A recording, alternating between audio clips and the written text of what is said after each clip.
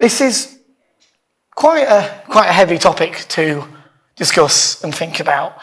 Um, and I don't want, um, I'll explain where I'm going with this, but I want to start off by looking at the birth of the church. So, Acts chapter 2, Pentecost is widely considered to be the birth of the church. Let's just see, well, let's just read that. So, this is Acts 2, 1 to 4. Um, when the day of Pentecost came, they were all together in one place. Suddenly, a sound like a blowing of a violent wind came from heaven and filled the whole house where they were sitting. They saw what seemed to be tongues of fire that separated and came to rest on each of them. All of them were filled with the Holy Spirit and began to speak in other tongues as the Spirit enabled them. That's, I'm sure you've all heard those verses before. Um, towards the end of chapter 2, it then describes a bit about what the early church looked like. So this is verse 42. They devoted themselves to the apostles' teachings to, and to fellowship, to the breaking of bread and to prayer. Everyone was filled with awe at the many wonders and signs performed by the apostles. All the believers were together and had everything in common. That's mad, isn't it? All the believers were together and had everything in common. They sold property and possessions to give to anyone who had need. Every day they continued to meet together in the temple courts, they broke bread in their homes, and ate together with glad and sincere hearts, praising God and enjoying the favour of all the people. And the Lord added to their number daily those who were being saved. Sounds like a good community to be a part of, doesn't it? Could you, could you imagine this living in, living in, that, in that way? Um, I would suggest that's maybe as close as to restoration that the church has ever got, and it was right at the start. Um, so that's where the church started from the body of Christ, the bride of Christ, a group of people who were about to change the world, and they did change the world.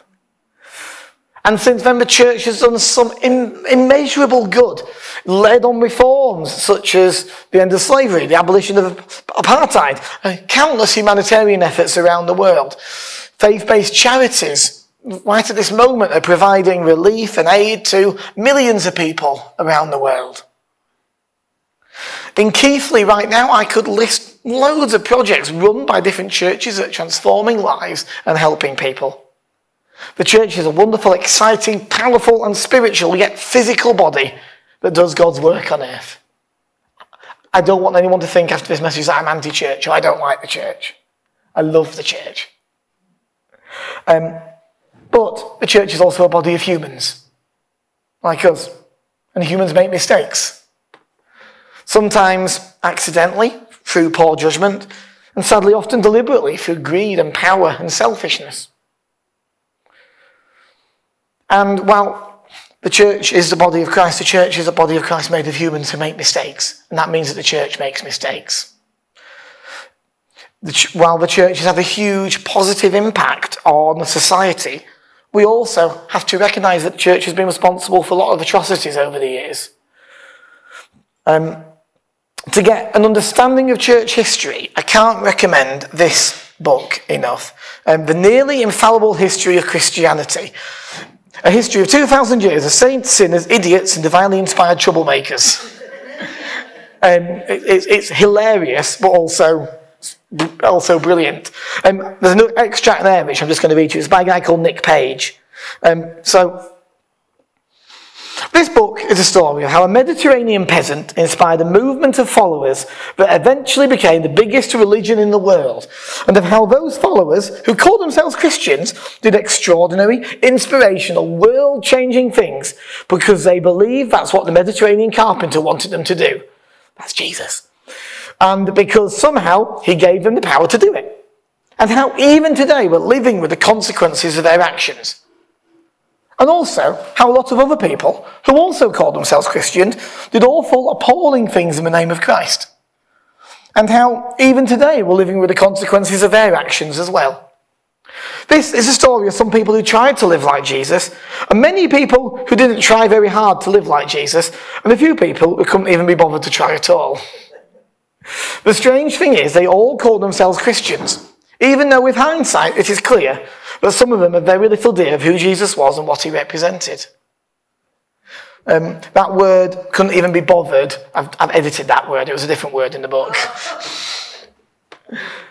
um,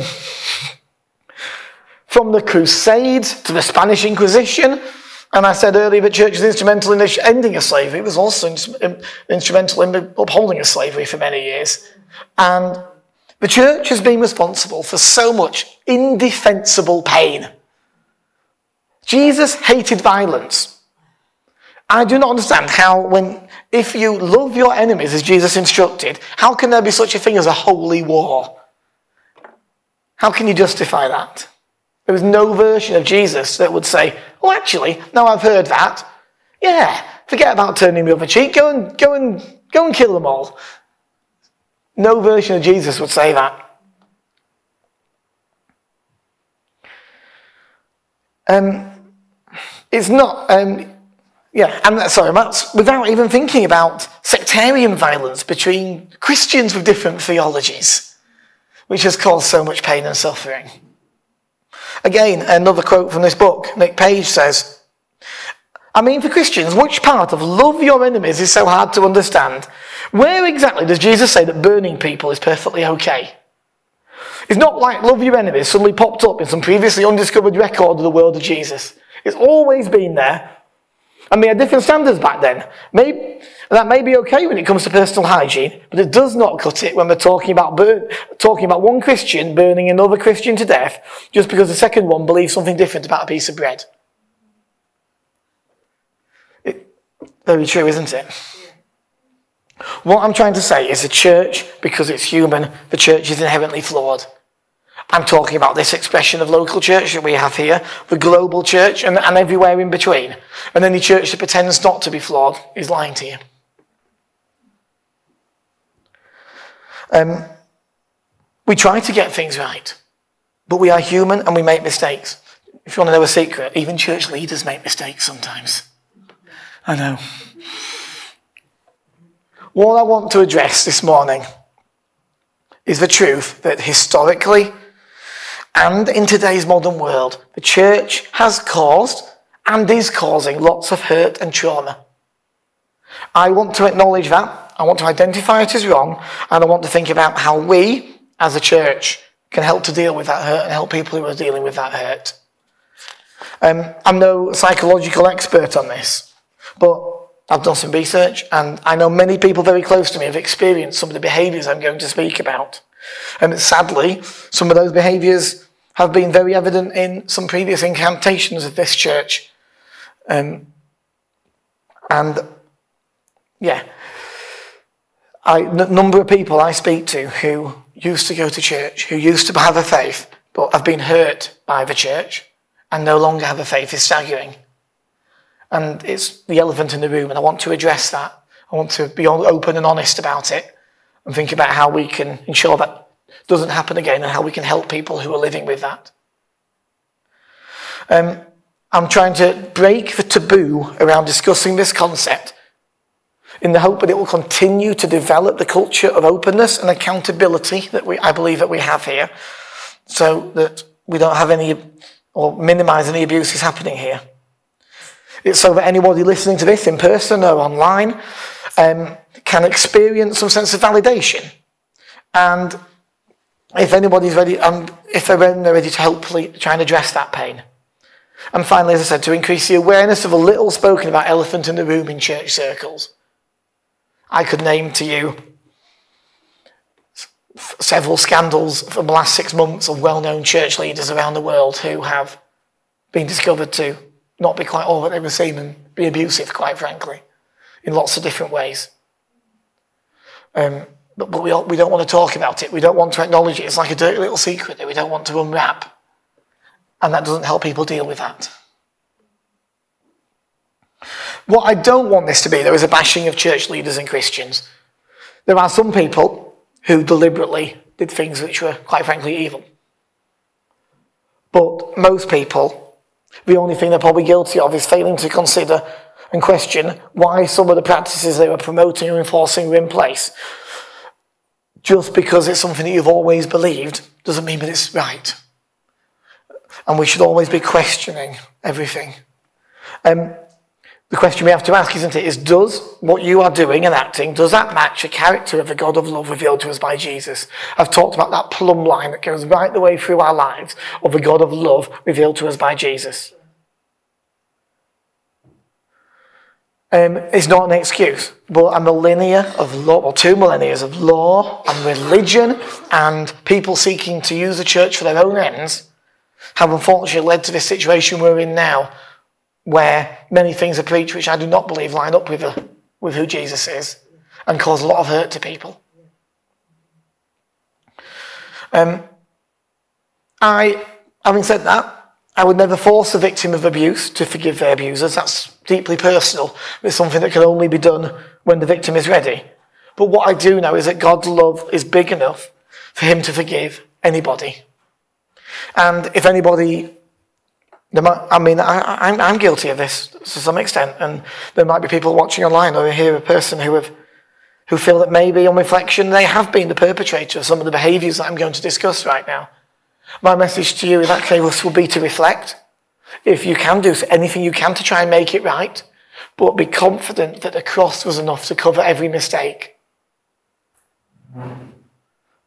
So, can I give you some examples of what I'm talking about in the modern church.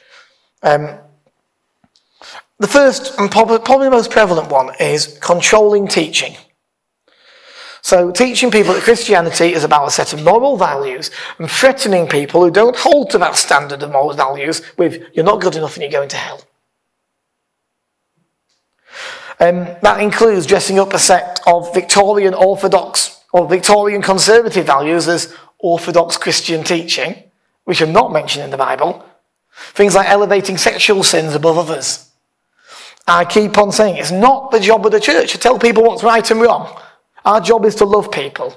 It is not our job to decide on the moral standards for society. Our job is to love people. Full stop. Can anyone tell me where the Bible talks about sex before marriage? No? Do you know why you can't tell me? Because it's not in there. Yet it's been such made to such a huge thing by so many people. Um, it can have, and it's on this so-called purity culture has had, I know people, this has had a huge negative impact on.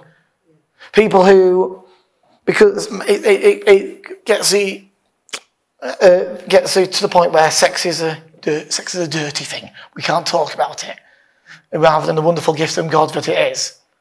And it makes people then, and even when they are married, um, still think that they're doing something wrong, or still feel still feel bad about it. Um, I'm not making moral judgments either way. It's not my job to say to make it to make a judgment on that. To put it quite bluntly, people's sex lives are none of my business, um, and it's none of the church's business either. But I just cannot understand why that particular issue has been made such a fuss of throughout the years. And just Google purity culture and the harm that has caused so many people.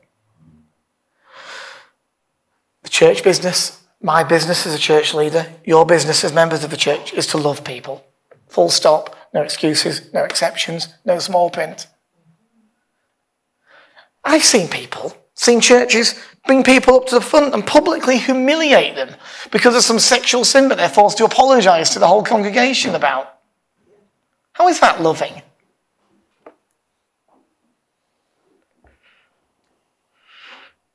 Conversion therapy.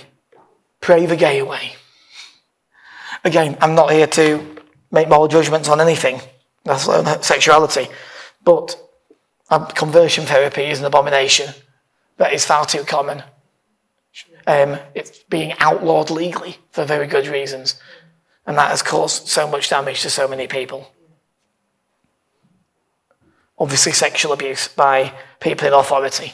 Absolute abomination. That has been and is still is far too common in Christian circles. Um, misogyny. Teaching women that they're inferior to men by not allowing them into leadership roles or teaching women differently. Again, something that is still very much alive in many churches today. Um, this is, I was talking to um, a lady this week about this. Um, blaming for the lack of healing. Making someone think that when someone is ill or when they're not healed, but it's somehow their fault through a lack of faith or some sin that they've committed, is complete rubbish. I don't know why God answers prayers sometimes and sometimes He doesn't. But what I do know is not our fault when He doesn't. Um, promoting unworthiness, teaching people they're intrinsically bad or unworthy, and that without God, who is obviously gatekept by the church leaders, that they are useless and worthless. Pushing control onto often really vulnerable people, telling people they have to be something they're not in order to be accepted by God or by the church. And sometimes those things that people are telling people to change aren't something that you can change. And that makes people feel awful. Yeah. Convincing people that part of who they are is intrinsically wrong. Yeah. What's our phrase? Judgment. Sorry, not acceptance, not judgment. Yeah. Loving people. Love is the only mission. Yeah? And then forcing people to forgive people who've hurt them before they're ready. Yeah, we should try and forgive those who have hurt us, but we also need to recognize and deal with the trauma. We should try to forgive people. but let me put, put this bluntly you're not going to go to hell just because you haven't forgiven somebody. You should try to. I could go on. The number of people I speak to who used to go to church and been driven away by things like this are just staggering. Um, these practices and ones like them um, and because church represents God, these people often stop believing because they see these abuses as coming from God. They don't believe in God, and the sad thing about that is that then stops them believing in their heavenly identity as children of God. They don't believe in God, and that means they lose out on so much. That has a name, does this? Um, PTCIS, post traumatic church induced trauma um, as a subset of PTSD, post-traumatic stress disorder, um, or sometimes it's called RTS for religious trauma syndrome. And there are counsellors and psych- psychologists who have dedicated their lives to treating people who are suffering with this. Um, you see, abusers are clever. Shaming gets relabeled as convicting. Controlling becomes mentoring. Guilt gets relabeled as repentance. And punishment as discipline. If you've been hurt by the church, I want to say sorry. Like everything pure and good, when a fallen humanity gets its hands on it, it gets corrupted often not for any deliberate fault of an individual. Years of human interference, of um, centuries of controlling the masses dressed up as religion and tradition permeates the church. If you've been hurt, what I want to do is validate your hurt. I want to acknowledge it. I want to begin to remove that taboo and I want to make it okay to talk about it. To deal with that hurt, we first need to recognize it exists. There's often a tendency to brush things like this under the carpet. That old ostrich approach, bury your head in the sand and hope it goes away. Often these tendencies come from a good place, a desire not to upset someone or cause scandal. We don't want to bring the church into disrepute. Or perhaps we don't want to open ourselves up to the questioning because there are so many examples of people who've been victims of abuse by the church who, when they speak out about it, the church doesn't, isn't sympathetic and doesn't deal with it. The church ostracizes them, it compounds their abuse, it tries to discredit them and makes it worse. So it's no wonder sometimes people don't speak out. So let's put victims first. That's that phrase, isn't it? It's okay not to be okay. It's okay to hurt. Now, I'm not saying you should publicly go and shout about it, but acknowledge it. Talk to someone you trust. Not that person you talk to maybe have a solution, but Talking helps. And then once we've acknowledged a trauma, we can begin to process it. How has this affected me? How has it affected my relationship? How has it affected my relationship with God? Now, some people say, let's process it so we can put it behind us, so we can forget about it and move on. Well, I don't believe that's helpful here because that hurt is part of our stories and part of who we are. Um, I shared the other week, didn't I? Um, I was talking about restoration at a children's event last year, and an eight year old boy said something really remarkable to me. This is a boy who has been through so much more in his eight years than most adults ever will in their lifetime. And he said to me, Ross, I don't want to be restored to how God made me, because what's happened to me has made me who I am. Firstly, what a wise eight year old is that? And that question really made me think. The next day I was able to go back to him and I was able to say, I don't believe that God ever makes bad things happen, but He works with us to make good come from those experiences. And when we're fully restored to how God made us, and that will happen even when we die or when Jesus returns, all of the hurt that's been a part of our story on earth will still be there because it contributes to what makes us who we are. But the difference will be that He's healed the bits that hurt, and the bits that remain will be the parts that make us stronger.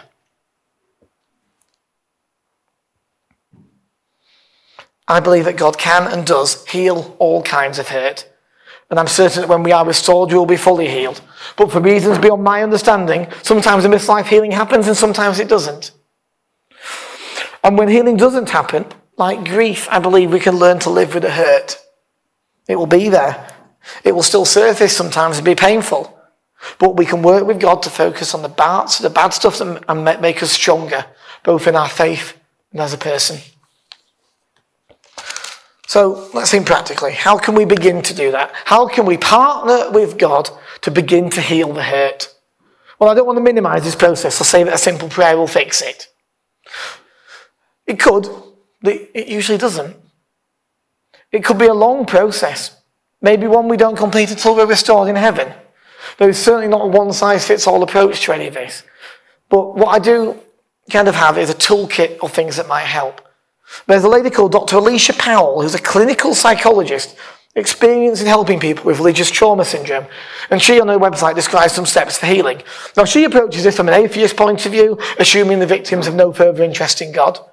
Um, what I've done is I've adapted these points slightly using testimony from both second and first hand testimony from people who have been through abuse and have recovered or are on that journey um, to make some steps where Faith doesn't just survive a trauma, but can emerge stronger and is an important part of that healing process. So, dealing with hurt. Firstly, as I've said, we need to be able to acknowledge the hurt and we need to want to try and fix it. And if you're not yet, that, that, that's okay. In your own time. When you're ready, God will be ready. And do not go believing any nonsense about your salvation depending on it. The God of love is not sending you to hell. Next, we need to try and separate the false theology from Jesus. Challenge your beliefs. Just because you've always believed or been taught something does not make it correct. Read the words of Jesus, who was all about love, not judgment. Ask yourself, does that teaching line up with Jesus? And if it doesn't, reevaluate it. Explore what you really believe by thinking for yourself. Um, there's a word I did a few years ago called Five Things I Want My Friends to Know About God.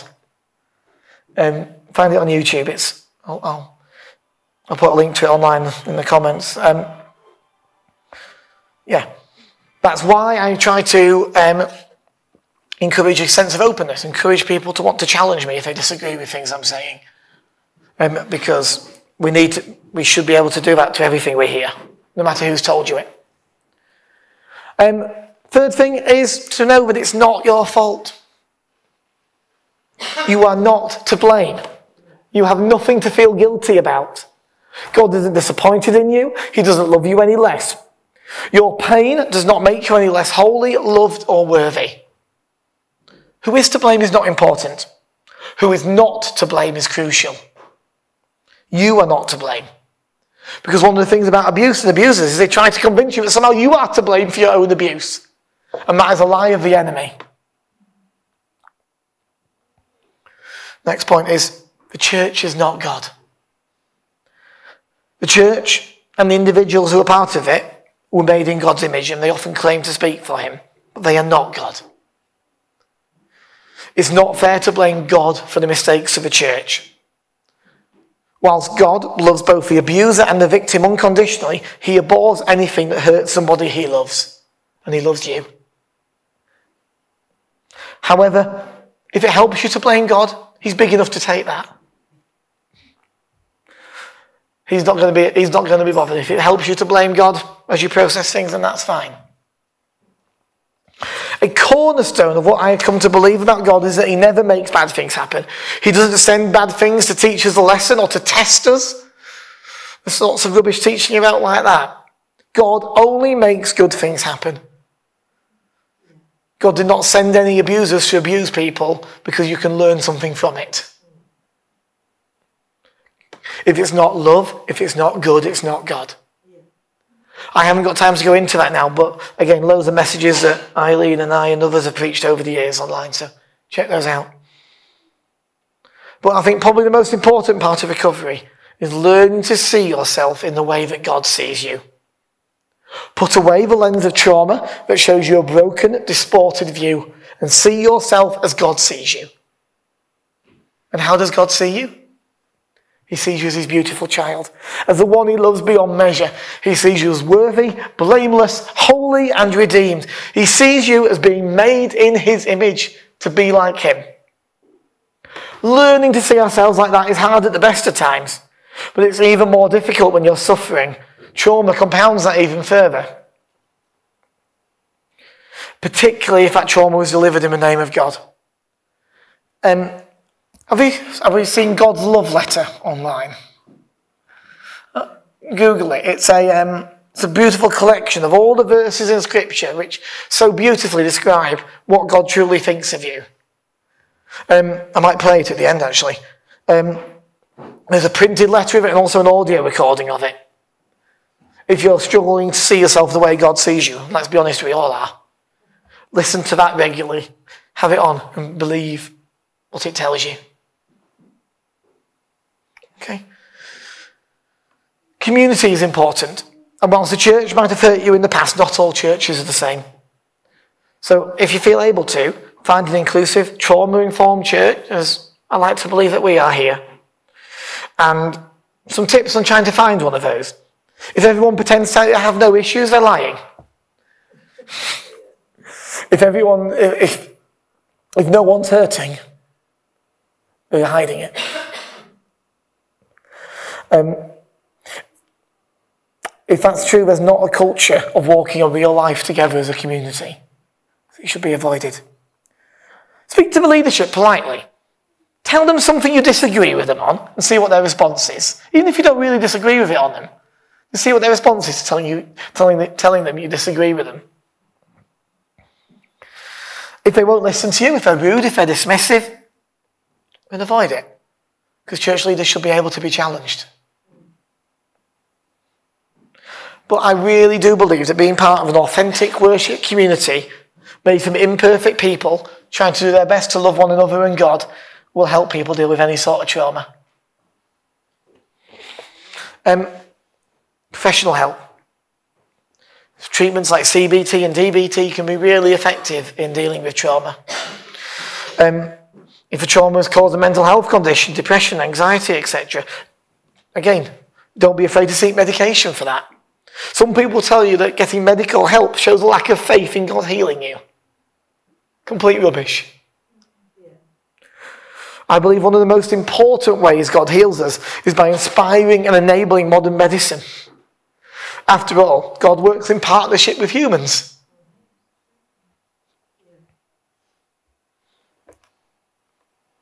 I'm not saying you shouldn't pray and we shouldn't be in faith, but don't be afraid to seek medical help as well.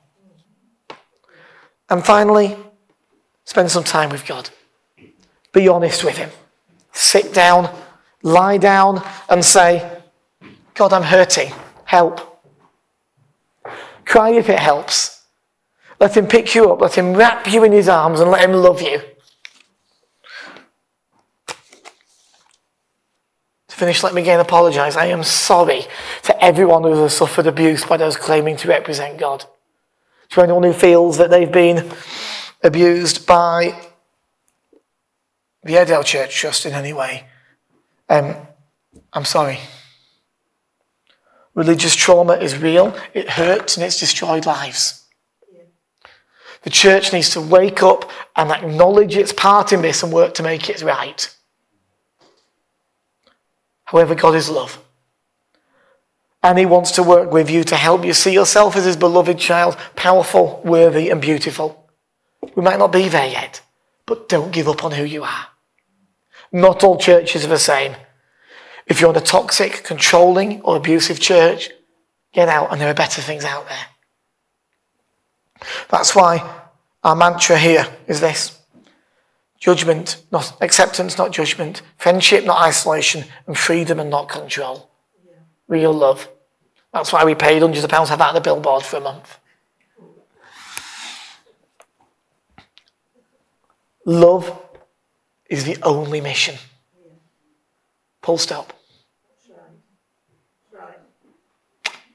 Should we pray?